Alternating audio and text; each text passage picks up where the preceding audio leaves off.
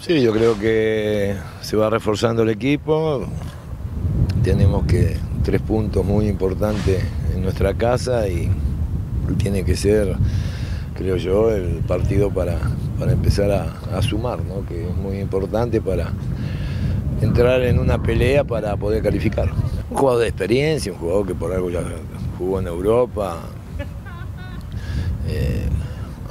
esperando el liderazgo de él hacia la defensa, los jugadores ayer ya en el trabajo especial que hicimos puramente defensivo lo empiezan a entender, empieza él a tomar la voz de mando y usted ser un líder dentro de, nuestra defensa, eso es lo que esperamos.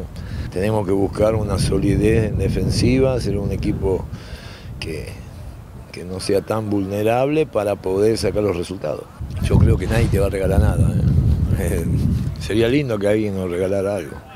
Si todos están en lo mismo, yo creo que empieza el campeonato, ya está, pasaron tres fechas, van todos a buscar la, primera, la primera meta que es calificar y después pelear en una liguilla. Entonces, ellos también no arrancaron muy bien, que digamos, así que también tienen la necesidad de puntos. Es un equipo que viene trabajado hace dos años, es decir, viene con una solidez.